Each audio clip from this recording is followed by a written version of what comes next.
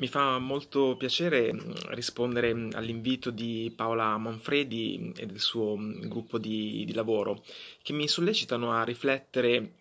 su, eh, su, sull'effettiva durata di una mostra, su, su, cosa rimane di una mostra anche eh, dopo la sua fine, al suo, al suo, termine. E beh, senz'altro, è abbastanza scontato dirlo, eh, tutto quel, quel corpo eh, di pubblicazioni, ehm, cataloghi, la documentazione, diciamo, di, di una mostra che poi in qualche modo eh, contribuisce a creare quella che è un po' la letteratura eh, attorno alla, alla, storia delle esposizioni e alla storia delle, delle, delle, mostre. Credo che ognuno di noi, almeno chi ha studiato eh, storia dell'arte, eh, sia formato, credo che si sia formato almeno eh, su dei libri che riproducono anche attraverso immagini in bianco e nero, quasi delle immagini un po' mitologiche per certi versi eh, e che ci, ci restituiscono eh, anche attraverso un fermo immagine eh, la temperatura o l'attitudine di una mostra o di un, di un certo artista.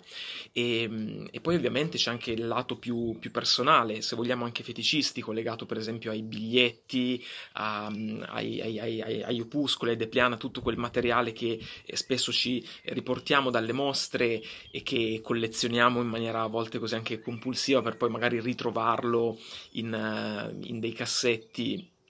accumulato dopo, eh, dopo, dopo, tanti, dopo tanti, anni. E, ehm, e, poi ovviamente c'è anche proprio il ricordo, il vero e proprio ricordo personale, l'esperienza proprio all'interno dello, dello spazio espositivo che eh, insomma lo vediamo anche oggi insomma in questo periodo in cui siamo costretti a, mm, dire, a, rimanere a casa eh, l'esperienza proprio diretta della, della visita e l'esperienza diretta dello spazio espositivo è qualcosa di, di insostituibile. Ed è forse quello il ricordo eh, più, più, più, forte di una, di una mostra che, che, che, poi ci portiamo dentro, che ci, che ci appartiene. Io per esempio ricordo ancora eh, diversi anni fa, quasi una decina d'anni fa,